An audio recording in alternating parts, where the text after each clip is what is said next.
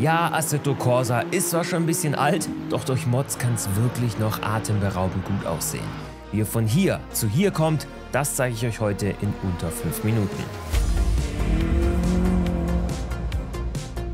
Moin Freunde, herzlich willkommen zum neuen Video hier auf Champion Joe. Schön, dass ihr wieder mit am Start seid. Heute gibt es meine Grafik-Settings und wie ihr das Spiel genauso aussehen lassen könnt wie bei mir. Also lasst gerne ein Like da, wenn euch das Video gefällt und wir starten rein mit den vier Mods, die ihr dafür braucht. Nummer 1, der Content Manager. Der Content Manager ist ein Dateimanagement-Programm für RC, welches in erster Linie die alten Menüs von AC los wird. Es wird alles ein bisschen übersichtlicher, man bekommt extra Features, sowas wie Statistiken, es gibt Showrooms und vieles weiteres. Aber das Allerwichtigste ist, ist, dass ihr mit dem Content Manager Mods mit nur drei Klicks installieren könnt. Also holt euch den Content Manager, den CM auf der Homepage. Alle Links sind natürlich wie immer unten in der Videobeschreibung drin. Als zweites brauchen wir dann den Custom Shaders Patch und den könnt ihr euch direkt im Content Manager runterladen. Einfach hier auf Install klicken und danach empfiehlt sich eigentlich, den Custom Shaders Patch immer so aktuell wie möglich zu halten. Immer die oberste Version einfach anklicken, dann wird der neueste Patch automatisch heruntergeladen und installiert. Ich persönlich nutze die Paid-Variante vom Custom Shaders Traders Patch, die gibt es auf der Patreon-Seite von Ilya Yusupov, dem Schöpfer des Content Managers und des CSP. Da müsst ihr ein bisschen was zahlen, da ist man glaube ich für einen Euro im Monat schon mit dabei, also wirklich günstig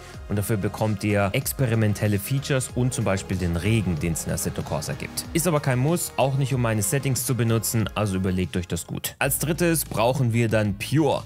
Das ist ebenfalls eine Paid-Mod, diesmal von Peter Böse, gibt es auch auf Patreon. Das ist ein Programm, das bessere Lichtberechnungen zu AC bringt, neue Wolken und verschiedenste Wetter-Presets. Also extrem wichtig, schaut da gerne mal rein. Und die ist heute ein absolutes Muss, also falls ihr meine Settings nutzen wollt, braucht ihr Pure, könnt ihr euch da auch schon für einen kleinen Obolus holen. Es gibt auch eine kostenlose Variante, die ist allerdings schon ein bisschen älter und heißt Sol.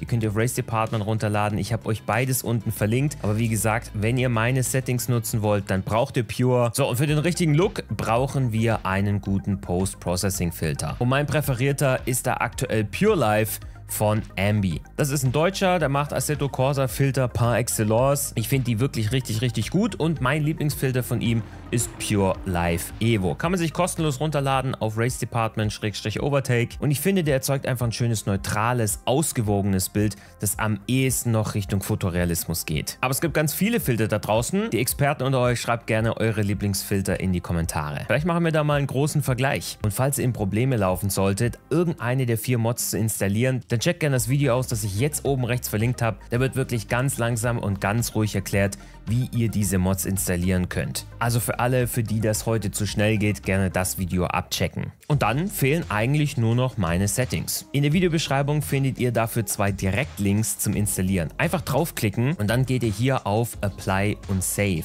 Ihr müsst nur sicherstellen, dass ihr keine ungespeicherten Settings habt. Speichert die sonst vorher ab, sonst werden die überschrieben. Alternativ könnt ihr auch einfach nur auf Save klicken. So, und da seht ihr meine Video-Settings. Die sind jetzt für einen Single-Screen mit 1440p Falls ihr in 4K oder in 1080p spielen wollt, dann müsst ihr hier noch die Auflösung ändern. Und mit dem Custom Shaders Patch funktioniert das eigentlich genau gleich. Da ist auch in der Videobeschreibung Link. Draufklicken und dann auf Apply and Save. Und auch hier sind meine Settings für den Single Screen. Das sind Ultra Settings. Auf Triples oder in VR stelle ich da einiges um, um FPS zu sparen. Und die Settings für Triple und VR lasse ich euch ebenfalls unten in der Videobeschreibung da. Allerdings, wie gesagt, da mit ein paar grafischen Abzügen, einfach um die FPS zu steigern. Und falls ihr ein ausführliches Tutorial zu VR braucht, das habe ich auch die letzten Tage gemacht, Checkt das gerne aus. Ich verlinke euch das jetzt hier einfach mal auf der Endcard. Aber das war's für heute. Vielen lieben Dank fürs Einschalten. Bis zum nächsten Mal und denkt immer daran, ihr seid alle Champions. Ciao.